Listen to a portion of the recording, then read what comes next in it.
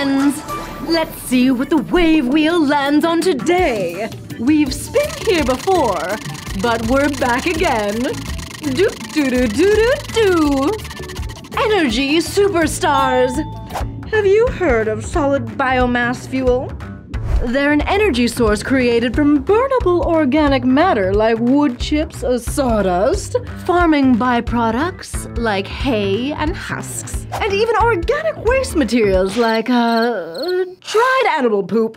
Solid biomass fuel takes on many forms, from dry sticks picked off of the ground to factory wood waste compressed into pellets. Unlike fossil fuels, biomass fuels are replaced by growing more plants, which makes them renewable and sustainable. And while burning solid biomass fuel does release carbon dioxide into the air, it's balanced out by carbon that the growing plants absorb.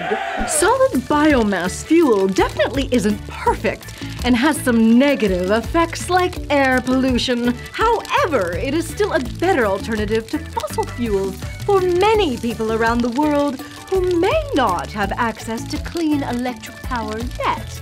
Oh, oh, phew, oh. I may be standing a little too close to this one.